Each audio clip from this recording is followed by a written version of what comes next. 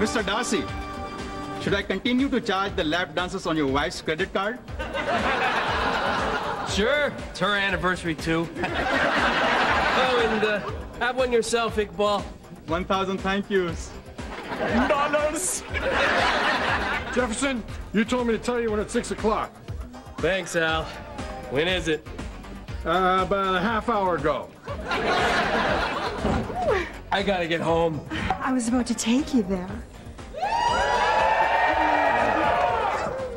Cluck, cluck, cluck, cluck, cluck, cluck, cluck.